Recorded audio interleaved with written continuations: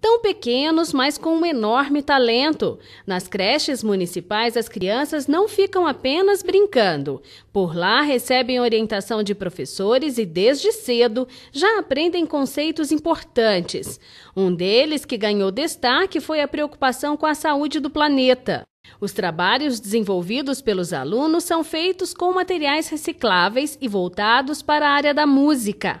Caixas que iriam para o lixo se transformam em piano ou em um violão. Cada ano que passa, a gente observa, tanto eu como as outras coordenadoras, observa que elas estão assim, cada dia mais trazendo material. Vê um rolinho de papel higiênico, ah, eu posso fazer isso. Vê uma lata de leite de ninho, ah, eu posso fazer isso, posso fazer uma zabumba, posso fazer uma bateria.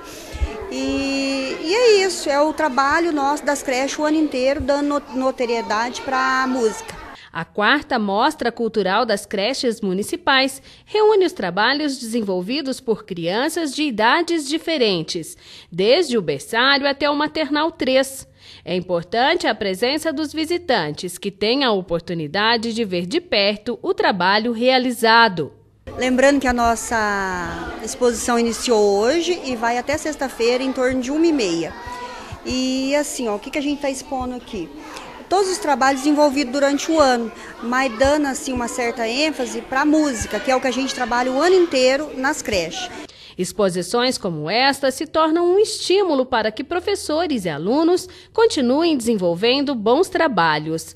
Então, não deixe de passar pelo Teatro Municipal nesta semana. A criançada agradece. Eu tenho que agradecer muito, em primeiro lugar, a Deus, né? Porque tem, assim, cada ano nos honrado e cada ano está sendo mais aprimorada a nossa exposição.